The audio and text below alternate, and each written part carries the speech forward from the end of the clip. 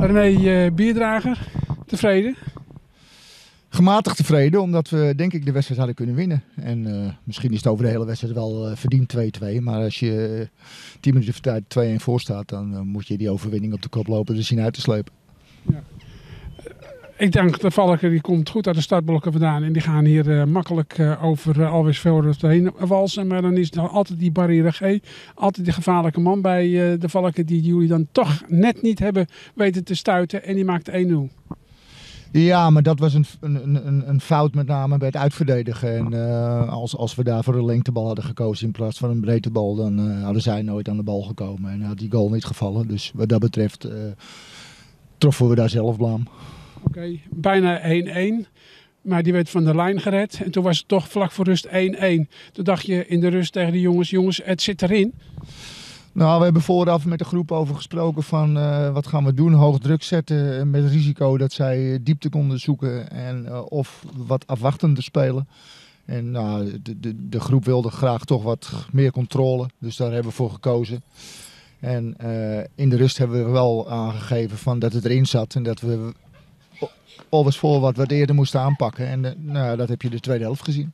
Toen dacht ik op een gegeven moment, het, uh, het werd 2-1 en uh, ik, met een handbalverdediging. Want dat was toch wel puur een handbalverdediging, hè? Van wie? van, van alles voorwaarts. Ja, nou ja, we, ze hadden moeite op, de, op dit veld om, om die verzorgde opbouw te plegen. Dat was in voorgaande wedstrijden op, op gras gebleken.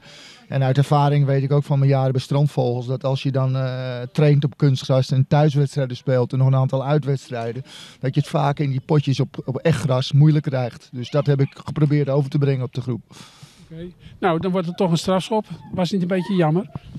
Ja, ik denk dat uh, in de bestuurskamer werd nou ook net gezegd van dat is een beetje gochme wat, wat we misschien voorin bij de Valken, bij wat jonge spelers nog missen.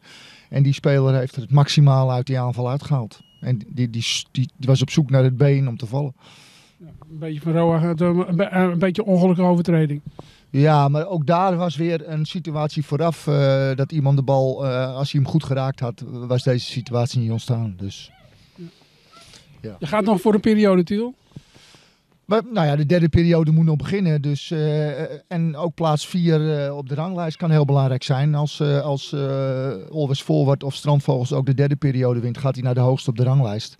Of ASV Sport. Dus plaats 4 kan heel belangrijk zijn. En nou, daar hebben we momenteel een licht voordeel ten opzichte van Sint-Jos. Dus die laatste zeven wedstrijden, acht wedstrijden in ons geval, gaan spannend worden. Volgende week? Volgende week Berkhout uit. Nou ja, die wint met 4-2 van, uh, van Kwiek. Dus uh, ja, die zijn voor hun doen natuurlijk, uh, gaan die voor de laatste kans, denk ik.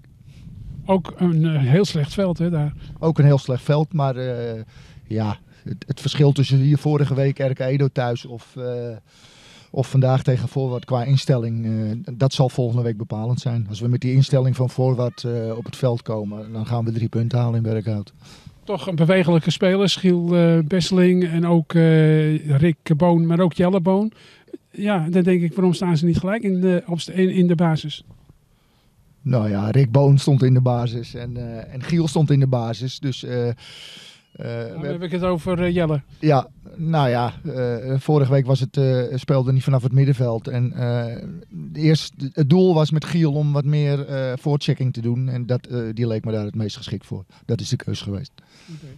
Nou, 2-2, 1 punt. Ja, in ieder geval, in ieder geval geen nul. In ieder geval geen nul. Goed resultaat waar we mee verder kunnen.